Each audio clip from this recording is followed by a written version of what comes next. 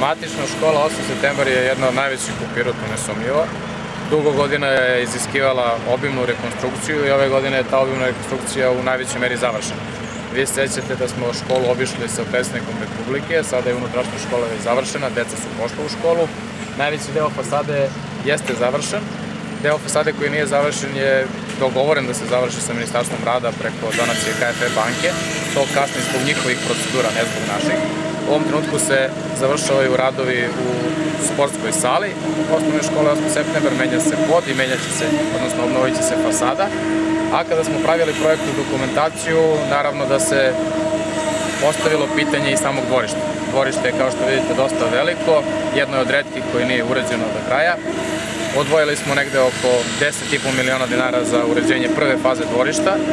Ukupno uređenje dvorišta će koštati negde oko 30 miliona dinara i ja se nadam da ćemo zajedno sa ministarstvom, pre svega na, ministarstvo prosvete, mislim to uraditi naredne godine. Uglavnom, deca borave u potpuno novim uslovima, u mnogo boljim uslovima i drago mi je što smo odvojili novac za dvorište. Ono što hoću da kažem je da nastavljamo dobru saradnju sa Kancelarijom za javno ulaganja. Donet je zaključak vlade gde su odobreni projekti za gimnaziju i osnovnu školu Sveti Sava i za opštu bolnicu Pirot. Samo gimnazija i Sveti Sava će biti negde oko 200 miliona dinara, tek će se kroz javnu nabavku vidjeti prava suma, ali projektna dokumentacija je rađena dosta kvalitetno, precizno i detaljno, a za bolnicu ćemo tek uraditi projektnu dokumentaciju.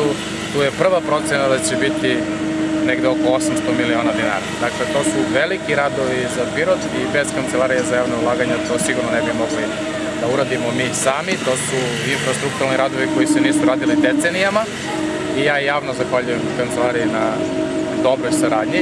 Pored toga ovde smo imali zaista dobrog izvođača radova koji je radio u kratkim vremenskim uslovima, u kratkim rokovima, radio dobro.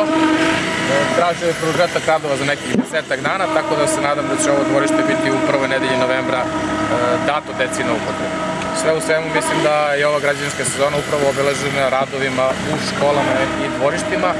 Očekujemo završetak javne nabavke i za uređenje osnovne škole Dušan Radović. To zajedno radimo sa Ministarstvom privrede i pored dosta novca koje, izdvojamo iz budžeta našeg, imali smo dosta uspešnu saradnju sa raznim republičkim ministarstvom.